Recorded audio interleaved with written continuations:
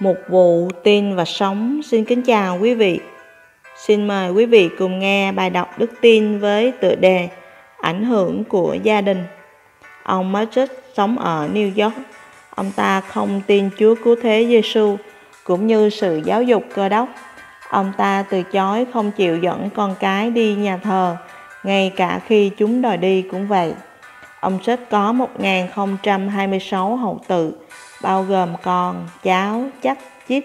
Trong số ấy có 300 người bị đi tù với bản án trung bình 13 năm mỗi người, 190 người làm điếm công cộng, 680 người nghiện rượu.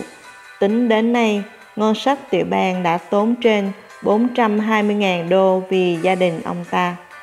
Họ không hề đóng góp bất cứ một lợi ích nào cho xã hội cả, dù rất nhỏ.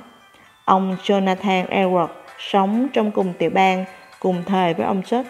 Ông Jonathan yêu mến Chúa, dẫn con cái đi nhà thờ mỗi Chủ nhật và ông phục vụ Chúa cách tốt nhất với khả năng của mình. Ông Edward có 929 hậu tự, trong số ấy có 430 người là mục sư, 86 người trở thành viện trưởng đại học, 75 người là nhà văn, tác giả những quyển sách hay, 5 người được bầu vào Quốc hội Mỹ và hai người là thượng nghị sĩ, một người làm phó tổng thống. Gia đình của ông không hề làm ngân sách tiểu bang tốn một xu nào cả.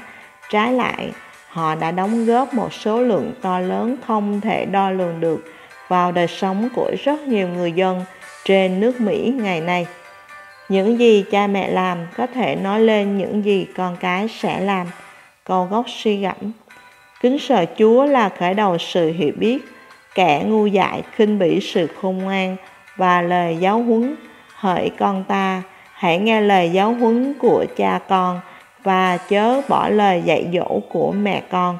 Châm ngôn đoạn 1 câu 7 đến câu 8 Muốn thật hết lòng